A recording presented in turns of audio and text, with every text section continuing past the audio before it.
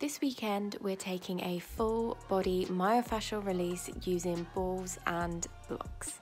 We'll be working from toe to head using a range of different techniques to help release deeply held tension, improve our recovery, and also it creates a window of opportunity to work more deeply into our flexibility. More details in the description.